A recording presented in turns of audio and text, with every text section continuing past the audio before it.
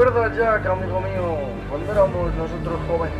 Desde que perdimos la guerra, tratan como basura, no tenemos derecho. Qué pena que no está aquí el teniente. Su ayuda lo tendríamos. Pero Marco, ¿qué te ha pasado?